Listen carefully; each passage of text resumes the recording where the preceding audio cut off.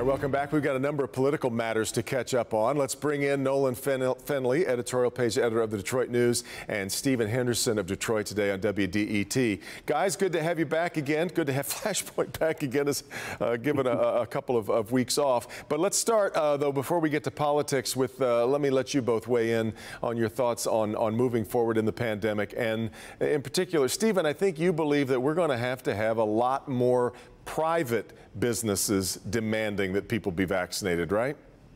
Yeah, I think that we have reached the the sort of pinnacle of the effectiveness of uh, government telling people that they need to get uh, vaccinated. I'm not sure uh, that there's much more that they can do uh, to be persuasive.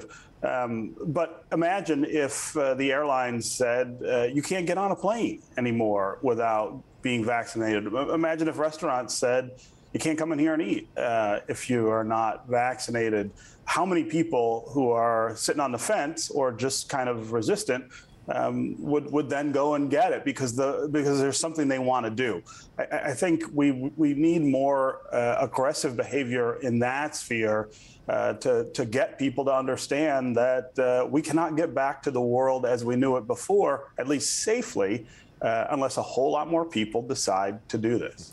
Uh, Nolan, that's really interesting because if enough of the private world then creates that sort of demand for vaccine proof, then even though a lot of people are not comfortable with the idea of creating a vaccine mandate, we've essentially created yeah. one then, haven't we? Well, we have, but we've done it the right way. I mean, we had an editorial Friday. A year ago, we were on our knees uh, praying for some relief from this pandemic. And you know, the answer came. We got the vaccine. And if you get the vaccine, there's a very, very small chance you're going to either get the va- vaccine or suffer the ill effects of it. And so that we have so many people out there who say, nah, okay, we don't want to take it, I think is very frustrating. And, you know, government, businesses take steps, society takes steps to protect the people. I'm thinking of seat belts, sprinkler systems in buildings uh, like like yours there. Yeah. Uh, there are appropriate steps you can take that aren't an intrusion onto liberty. Uh, and, you know, I think it's absolutely uh, terrible for people who aren't vaccinated to ask to ask those of us who are. Well, you all keep restricting yourselves, wearing masks, staying outside because we don't want to protect ourselves. And so hmm. I'm I, you know, I'm a libertarian, yep. but I think these are appropriate steps, particularly on college campuses, because the least vaccinated group are those 18 to 24 year olds. Right. And if they can't get on campus, if they can't go to concerts, if they can't go in their bars and lounges, they're going to roll their sleeves up and we're seeing requirements coming out from more and more schools right now. Let's uh, let's move to what we mm-hmm. learned over this past week with the uh, primary. Stephen, I, I, suppose some would argue in that big field of people who was trying to run, uh, who, who, was running for uh, mayor of Detroit, uh, Mike Duggan comes out with 70% of the vote. Even if um, if Anthony Adams somehow adds up all of the votes that didn't go for Mike Duggan, he still loses in a landslide. Then, um, is it time for us to change the rules and say, well? Well, if you get 70% of the primary, why uh, should we go on? Or am I missing the point of a, of a free and open general election in November?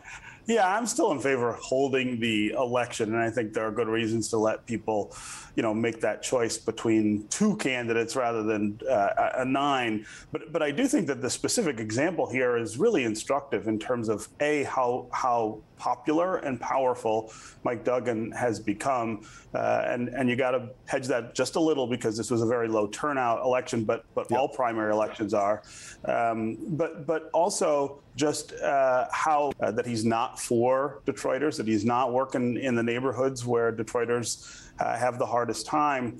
Uh, and time and again, uh, those same Detroiters go to the polls uh, to the extent that they go to the polls and vote overwhelmingly for him. I mean, if you think about these numbers, uh, these are not these are Coleman Young style uh, wins that he is racking up, and it is the yeah. most uncanny thing that I can imagine uh, in a city that is as heavily African American as Detroit. He is yeah. effective at selling his message to Detroiters. Yeah, uh, yeah, Nolan, obviously it's a very small turnout in these August primaries, but you get the sense that uh, Stephen's right. There's a, a kind of breathtaking kind of popularity in Mike Duggan, who, of course, famously won a write-in campaign to get this whole thing right. started.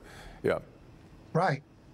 And, you know, there are places that if you win a majority, uh, there is no runoff. Or if you win a supermajority, right. as Duggan did, there is no runoff. I think it's important. As you said, this was a low turnout. The November uh, election is liable to be much larger. I still think Mike Duggan is going to win that election going away. But it is important for people who uh, to have a chance to to have their voice heard, to put in a, to put in a protest vote to say, hey, look, there are concerns here that we have that you need to take take care of. But his support seems to have come from every part of the city every demographic group. Yeah. Uh, it was a major stamp of approval. We'll see what happens here as we march toward November then. We also had Proposal P uh, go down uh, mm. by a wide margin. Uh, Stephen, uh, you and I were talking earlier uh, off the air. this, you know, proposals often pass in Detroit elections, and this one got its butt kicked. Yeah, I can't remember a time that Detroiters have said no to uh, a proposal. I haven't gone back and actually checked all of the records, but it's it, would be one of the rarest things that happens in Detroit politics, and yet uh, this proposal uh, went down really, really handily. I mean, I think there there were a number of problems uh, with the proposal and its selling. Um, if you think back to the Charter Revision Commission meetings and how chaotic they were for a time, I think that really hurt uh, its chances at the polls. And of course, you had this massive uh, opposition campaign. Um, I, I, have been saying all week, though, that look, there was nothing in that charter revision that we couldn't accomplish through the regular mechanisms of government if the people want that. Uh, you can elect council members who would do all of the things sure, that were in sure. the proposal P. You could elect a mayor who wanted to do those things. Um, this was an end run in some ways, in the sense that they, they couldn't achieve these things at the council table or in the mayor's office, and they figured, well, let's sew it into the charter. But Detroiters said no. I mean, and, and, and, again, unusually said no to something that uh, that normally would have passed. I feel like uh, in the city. Uh, Nolan, I wanted to make sure we get to one other topic. I, uh, in this long parade that we've seen uh, of people being caught up in uh, corruption cases in southeast Michigan over the last couple of years, I don't know, it's easy to say that I was surprised, but I was shocked uh, that Andre Spivey uh, was caught up in this. I, am I alone in that, or were you as surprised as I was? No, I, I would say two things about that. Well, the first is it's always shocking, given the number of officials who have gone down for corruption, for bribe, bribery, that people are still yeah. clueless enough to say, yeah, I'll take that thousand bucks and put it in my pocket. I mean, they see all of the people who are occupying jail cells who once sat in council seats or in other um, positions of power. You're going to get caught. And these folks, for very little money, uh, risk their their future and, and, and, risk their freedom.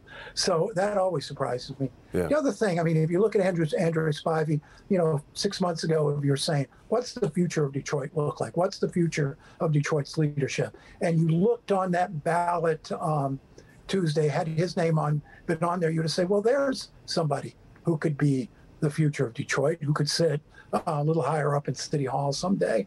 And there's not that big a group. And so yeah. it's disappointing in that regard. Sure is. Guys, uh, we're out of time. Thanks so much. Uh, great to have you back on the program again. I hope we'll see you soon. Got to take a quick break. We come back, we'll look back uh, on the legacy of Carl Levin. This is Flashpoint on Local 4.